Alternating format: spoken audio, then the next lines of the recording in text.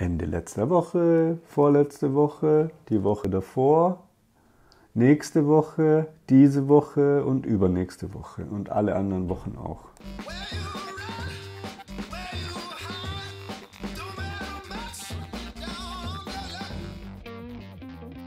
Du hast immer weniger Angst, glaube ich, weil man immer öfter Sachen durchlebt hat und weiß, wie man sie regelt. Und aber es kommt ständig irgendwas. Also jetzt eben so ein bisschen Angst oder nicht so richtig Angst, aber es ist halt jetzt so dieses große Projekt, das reingekommen ist, wo ein Teil Unbekannte dabei ist. Da habe ich so ein bisschen Angst davor. So.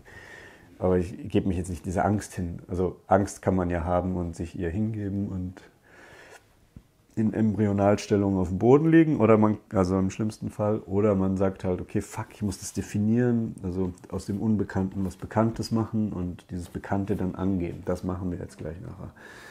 Ähm, ja, und sonst, ich weiß noch, als ich den Pitch gewonnen habe, Ende 2014. Also einer der größten Kunden? Einer der größten Kunden heute, der wird immer kleiner. Ähm, und vor allem der größte Kunde damals. Ähm, da hatte ich einen Freelancer, der schon länger für mich gearbeitet hat. Und ähm, der ist mir mitten im Projekt, mitten in der kritischen Phase abgesprungen. Und das war halt ein 30.000 Euro Projekt. Also das war ein Riesending. Das war ein Fünftel des Jahresumsatzes. Das war das Riesending bei diesem großen Kunden, das wir gewonnen haben. Das sollte uns alle Türen aufmachen für eine langjährige Zusammenarbeit und, und, und, und, und. Und dann steigt dieser Penner aus. Ähm, und zwar nicht so, hey, wir müssen reden, ich glaube, ich bin raus aus dem Projekt und so weiter. Hast ja noch ein paar Wochen, mich zu ersetzen und dann bin ich raus, sondern einfach so von heute auf morgen nicht mehr gemeldet erstmal, nicht geliefert, die zugesagten Lieferungen nicht, so, also einen riesen Stress verursacht. Da hatte ich Angst, dass ich das verkacke und da, ähm, ungelogen, ich hatte ganz kurz so Fluchtgedanken auch, also so, fuck, einfach weg hier, jetzt das Geld nehmen und ab auf eine sonnige Insel irgendwo. Mit dem Geld komme ich lang genug durch. So. Also da, in einer Sekunde schießt dir so ein Ding halt kurz durch den Kopf. Ne? Und dann habe ich aber an dem Tag direkt Schluss gemacht, bin verzweifelt nach Hause, habe ähm, mit meiner Freundin darüber gesprochen und habe äh, wieder irgendwie dieses Ding halt so für mich definiert, die Herausforderung, sie in Einzelschritte aufgebrochen und bin diese einzelnen Schritte dann angegangen und habe es gerettet quasi.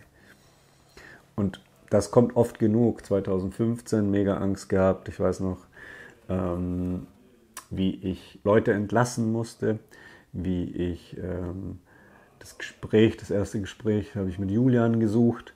Ähm, das war richtig hart, so eine harte Überwindung und Angst vor diesem Gespräch und so weiter. Aber da war genau das Richtige halt ähm, zu sagen, fuck, wir sind in Schieflage gerade, mächtig, äh, ich habe Angst, das Ding geht kaputt, ich will aber weitermachen, durchziehen, also was machen wir jetzt, ein bisschen zusammenhalten, das war, das waren krasse Momente. Ja, und dann halt ständig irgendwie, manchmal,